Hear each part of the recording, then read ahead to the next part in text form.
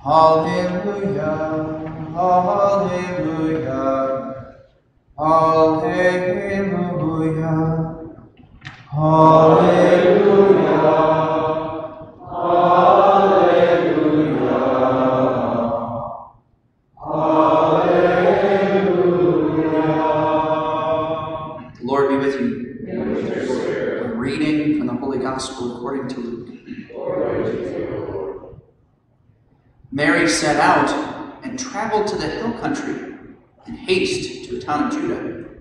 where she entered the house of Zechariah and greeted Elizabeth.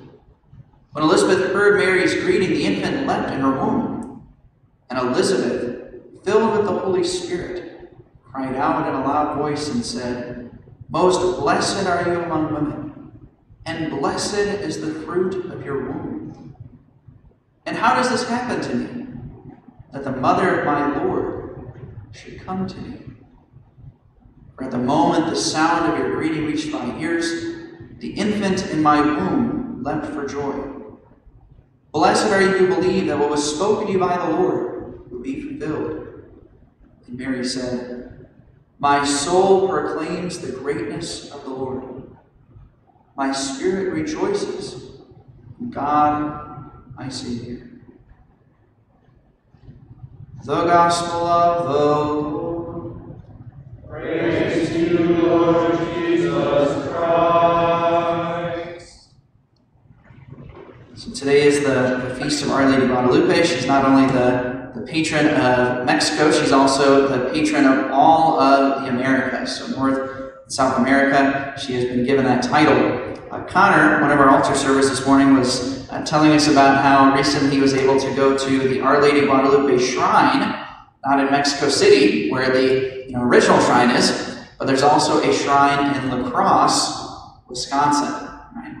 And in that shrine, if you go there, you'll also find right the place that says, "Here's where Father Michael Bauer grew up." Not really, you won't see a plaque there, but I did grow up in La Crosse, and so I feel very privileged that we have this great shrine uh, that was put there in La Crosse. There's also, you know, someday I would love to really make a, a parish parish pilgrimage to La Crosse, to Our Lady of Guadalupe Shrine, and hopefully if we would go there, we would also, as I was explaining to the altar servers, uh, we would also go up to Green Bay. Right? Green Bay is the site of the only approved Marian apparition in the United States. A lot of people are familiar with Fatima and Lourdes and Medjugorje and all these really famous places. A lot of people don't realize we actually have an approved Marian apparition in our own country. It's in Green Bay, right? So uh, the next time you're up around Green Bay, make sure to go to the shrine, Our Lady of Good Help, and then you can go to the other shrine in Green Bay, the Green Bay Packers Hall of Fame. Right? That's what people describe it as, right? Now, Our Lady of Guadalupe, there's so many things you could say about this great and wonderful feast. I highly encourage you, uh, if you haven't already, to learn about the miraculous image of Our Lady of Guadalupe. It's really incredible, first of all, that the image has lasted now uh, over 500 years, but also that uh, there's so many different miraculous aspects to the image. Uh, for example, people have discovered that the image on the tilma, it's literally hovering over the tilma, right? Like it's not sketched in, it's not painted, it's literally hovering over right? the tilma.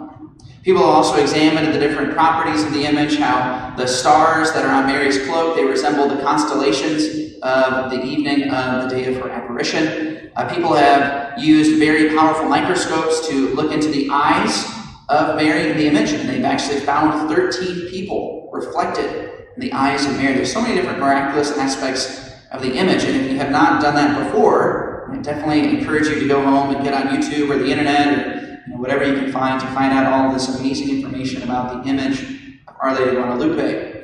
Uh, something else I would recommend to you, something that always uh, comes to my mind about this feast, is there's a very, very good book that was written about Our Lady Guadalupe. It's called Our Lady Guadalupe and the Conquest of Darkness. It was written by a historian named Warren Carroll. It's only about 100 and maybe 120 pages. It's a really short book. But it's one of the most exciting uh, books you could ever read on the history of Our Lady Guadalupe. He basically you know, he brings in a lot of the historical sources, but he tells it like a story. He doesn't tell it like a textbook. And so it's really this, this moving story where he describes the apparition of Our Lady Guadalupe. And what Warren Carroll points out, and something that I really learned for the first time reading this book, was he talked about everything that had to take place leading up to the apparition of Our Lady Guadalupe. Oftentimes, when God works in the world, He doesn't just appear out of nowhere. There is a path that is prepared for Him. We've been reading in Advent, we've been hearing from the prophecies of Isaiah, the most famous prophecy of Isaiah that John the Baptist echoed in his preaching prepare a way for the Lord. John the Baptist was preparing a way for Christ's ministry to begin. And throughout church history, when people are spreading the gospel, when they are spreading the faith, they are preparing the way for Christ to come into the hearts of the people in those cultures and places. And so Warren Carroll tells the story about the people who prepared the way for Christ to come in the Americas.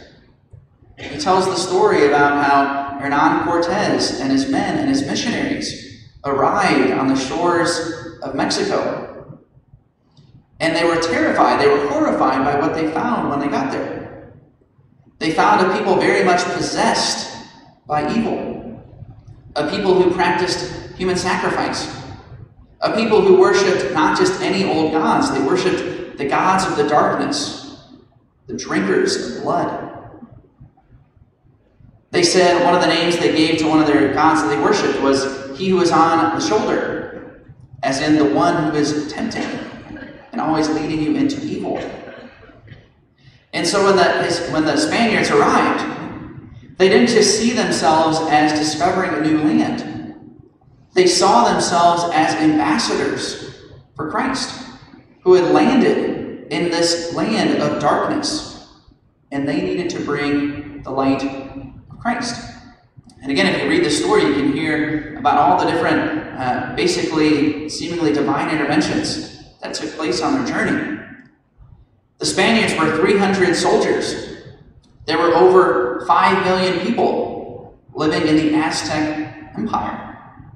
Every soldier was outnumbered by about 10,000 to 1. And yet they entered into the land. And what they found is actually a lot of the, the neighboring tribes, they actually joined up with them in their forces. Because those people had been victims to the Aztec Empire. The Aztec Empire, the Aztec religion, was founded on human sacrifice, and so they were always in need of new victims. And so the neighboring villages and tribes, they lived in fear of being captured and brought into the capital city. And so many of them actually joined up with the Spaniards. And again, if you read this book, you read the story, you hear about the spiritual war that was taking place. Point in the conquest, the Spaniards, they were able to ascend to the tower where all of the human sacrifices take place. And they were able to plant an image of Our Lady and celebrate a Mass. They considered it the great climax of the conquest. And of course, there's a lot of, you know, as with any war, with any violence, there was a lot of uh, confusion that took place. And in our, in our modern age, it's very common for historians to look back, and basically criticize right, everything that happened in the past. Right? But I would challenge any of those historians to put themselves in the shoes of those Spaniards. Any Spaniard who was in battle right, and was captured would be taken directly to the tower, and he would be sacrificed before all. It was very much a land of darkness, and not just ignorance, but literally evil. They were worshiping the gods of the darkness of blood. And so when the Spaniards finally were able to take control, then they tried to spread the faith. And unfortunately, it didn't go very well for the first few years. And eventually, that was when Our Lady of Guadalupe finally appeared. And then all of a sudden the floodgates were opened, and many people converted to the faith.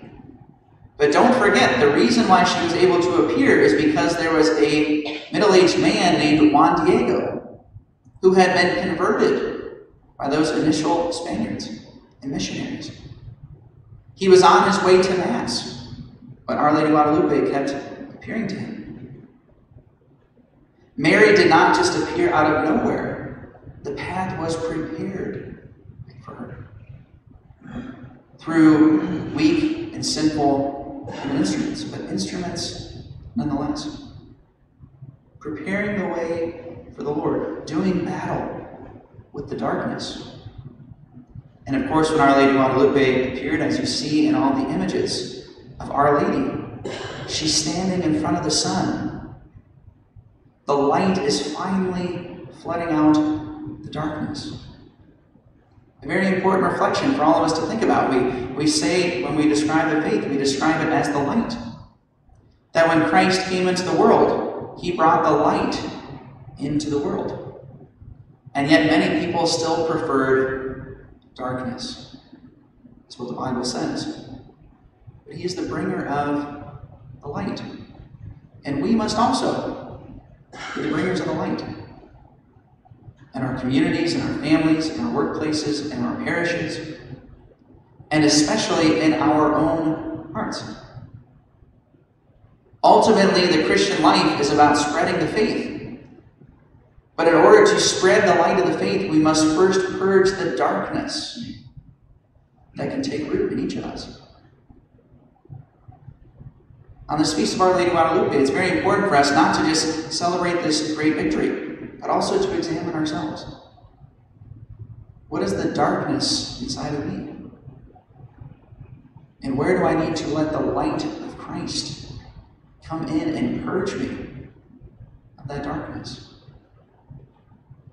Just because we are mass goers or because we are church goers doesn't mean that darkness can still not completely take hold of us or of a place or of a parish.